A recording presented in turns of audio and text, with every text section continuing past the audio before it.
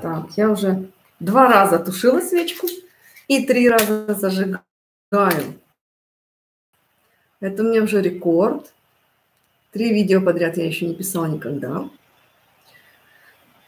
Господь любит людей, и Он плачет, потому что правды нету, справедливости нету, есть эксплуатация, есть то, что многие жаждут денег и славы. И славы, к сожалению. Так вот, сегодня я говорю о черных дырах уже в шестой раз, потому что, потому что у меня открывается каждый раз новое явление, новые исследования ученых. Я благодарна Богу за ученых. Они грамотные, они работают, их Бог за что-то благословил таким чудом. Хлопот не имеют, финансирование получают и ищут. Да, я, конечно, может, им где-то и завидую, но я пожинаю их работу. Вот, что обнаружили ученые? Значит, как это объяснить? Значит, как они объяснить? Ученые обращают внимание на то, что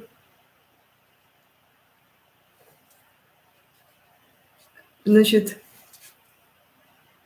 ну это я говорила перед этим, перед этим говорила, куда исчезли звезды, 100 штук, 100 штук куда-то провалились. В общем, за 70 лет исчезли звезды, никто не заметил, куда они исчезли.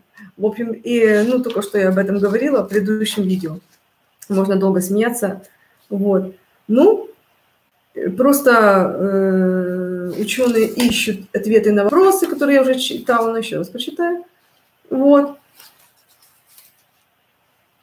Ну, тут я очень серьезную тему изучала, конечно, очень, очень прекрасная. Как раз я размышляла о том, прекрасная тема, потому что я как раз размышляла о том, а что окружает нашу Землю, что защищает нас от э, ядерного излучения. То есть, э, да. И получается вот, что я записала. Вопросы, которые ученые не понимают. Почему в некоторых зонах космоса техника выходит из строя?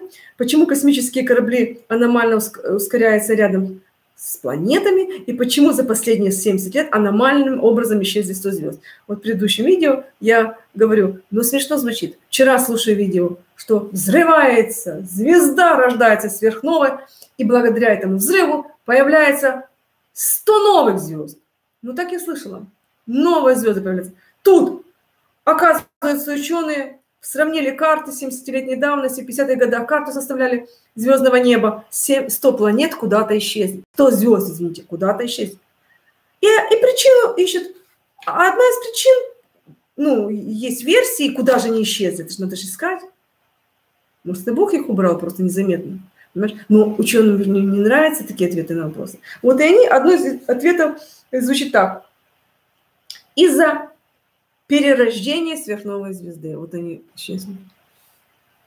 То мы рожаем, то мы выражаем, вырождаем. То есть мама, роди меня обратно.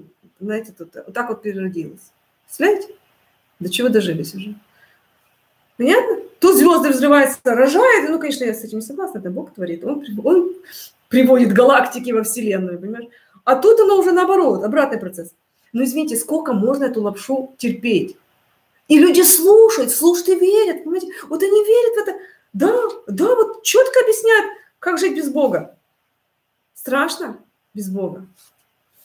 С Богом вам страшно, а мне страшно без. Мне страшно оказаться в аду, а вам страшно жить с Богом страшно.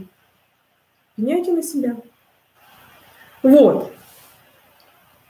В общем, один эм, космо, э, бывший космонавт Генри Бёрд, Бёрдс рассказывает, что он когда в 2010 году полетел в космос, только я закрыл глаза, и вдруг бах, гигантская слепительная вспышка, но никаких звуков. Южноатлантическая аномалия самая странное из известных нам загадок. Нам такое, нам такое рассказывают. В общем, он столкнулся с этой южно-атлантической аномалией. Эта мощная вспышка света не только потрясающе выглядит, но и смертельно опасна. Она возникает абсолютно бесшумно, в зоне ее действия компьютер выходит из строя, а человек получает высокую дозу радиации. Эту зону называют космическим Бермудским треугольником. К счастью, ученые уже приблизились к разгадке этого явления. И для того, чтобы разобраться, как устроена эта аномалия, нужно разобраться, что такое радиационные пояса Ван Аллена. Когда радиация, которая излучает, которую излучает Солнце, достигает Земли, оно попадает в зону магнитного поля, образуя радиационные пояса вокруг нашей планеты. Эти пояса защищают Землю от высоко зараженных электронных частиц, которые выбрасываются с поверхности Солнца. Это своеобразный щит. А почему не сказать Богу спасибо за этот своеобразный щит? Ну вы же говорите, что мы, мы же от взрыва взор... От взрыва мы взорвались, от взрыва мы появились. Если мы от взрыва появились, то как щит образовался от взрыва? Нужно надо Богу воздать славу за этот щит, который мы разрушаем своими, меша... своими вмешательствами. Кто будет восстанавливать этот щит? Мы своими спутниками и своими раке... космическими королями. Мы же разрушаем этот щит. Что, не знаете? Поэтому у нас такая, такие аномалии сейчас на планете. Понимаете, что радиация проникает в нас из-за того, что космические корабли, как это говорится в фильме, бороздят нашу галактику, Вселенную. Понимаете? Вот так мы живем. Но может Богу надо молиться, чтобы Он восстанавливал и тратил время на нас? Взывайте к Богу, мы же умираем из-за этого, у нас же э, онкозаболевание из-за этого. Бороздят нашу планету. Вот и бороздят, вот и борозды, нашу Вселенную. Это своеобразный щит, однако он образовывает странную э, магнитную ловушку. Их возмущает странная магнитная ловушка. Бог защиту поставил, чтобы люди не умирали на земле от онкозаболеваний. А их удивляет эта магнитная ловушка, которая, от которой страдают, видите ли, космонавты. Как он, как он это делает? Из-за того, что Земля немного сплющенная, ее магнитные поля тоже отклоняются от географического от географических полюсов. Таким образом, радиационные полюса Ван Аллена тоже отклонены. Место, где внутренний радиационный пояс располагается ближе всего к Земле и образовывает так называемую южноатлантическую аномалию. Такое влияние, какое влияние она имеет на нас, людей? В данный момент оно не имеет ощутимого воздействия на нашу жизнь на Земле. Но согласно исследованиям НАСА, она постепенно расширяется западном направлении, а действие нашего щита ослабевает. Это беда. Это беда. Более того, аномальная область разделяется на две зоны, и это уже создает помехи для наших спутников. Однако воздействие магнитного поля на э, зараженные частицы из космоса создает еще одно необычное явление – полярное сияние. Это выглядит невероятно красиво все об этом знают. Со всего мира люди съезжаются, чтобы посмотреть на это необычное чудо. Однако мало кто знает, что оно также непредсказуемым образом влияет на психику человека. Даже не, не, даже не на э, физическое тело, но на психику человека. Полярное сияние в буквальном смысле может свести вас с ума. Как это возможно? Поскольку частота, с которой его э, он, оно пульсирует близко к основным ритмам человеческого мозга. Это может вызвать сбой в сознании людей. Однако помимо странного воздействия на корабли и техники, космос интригует нас и другими сюрпризами. Согласно наблюдениям межгалактической группы, за последние 70 лет этого неба исчезло 100 звезд. Астрономы сравнили звездные карты, которые были созданы в 1950-е годы прошлого века, с теми, что были составлены в наши дни. Оказалось, что около 100 звезд, которые были э, на старых картах, исчезли по неизвестным причинам. Как это объяснить? Звезд первое.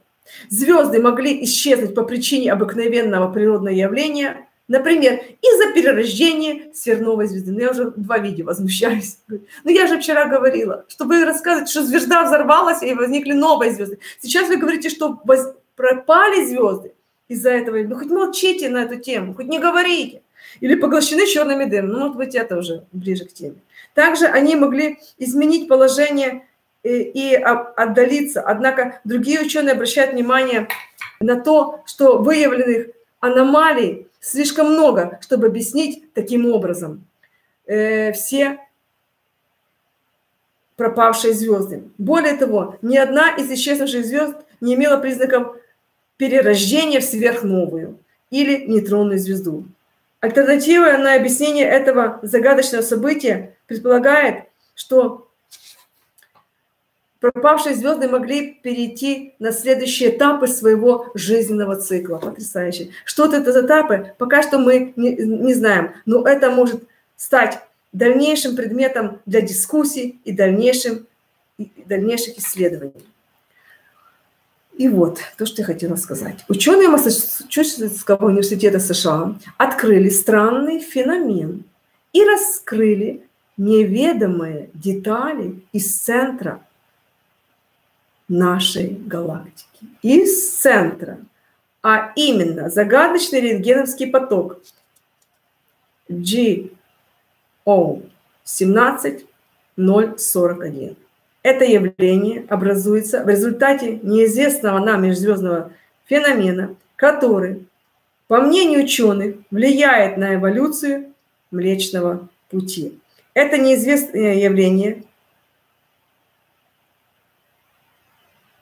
проанализировал астроном Массачусетского университета в Анхерсте Даниэль Ванг и нашел в нем следы некой рентгеновской нити. Она протягивается на 20 световых лет и раскрывает перед нами новый феномен, который может управлять потоком энергии и эволюции Млечного Пути. Нить свидетельствует о активном процессе магнитного э, присоединения, которое происходит, когда два противоположных магнитных поля сталкиваются друг с другом и в итоге объединяются высвобождая огромное количество энергии. По словам ученых, это насильственный процесс, который несет ответственность за такие хорошо известные явления, как северное сияние или солнечные вспышки, влияющие на космическую э, погоду, способные нарушить работу средств связи даже здесь, на Земле. Каков общий поток в центре галактики? Как он производится и транспортируется, и как регулирует галактическую экосистему. Это фундаментальные вопросы, которые помогут раскрыть историю нашей галактики. Ну вот, я шестое видео пишу о черных дырах. И говорю, что черная дыра – это тот центр, возле которого крутится любая галактика. В любой галактике в центре находится черная дыра.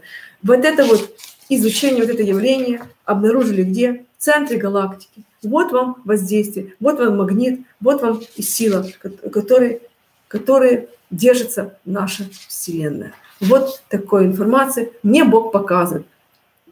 Если я не права, спорьте со мной. Будьте благословенны.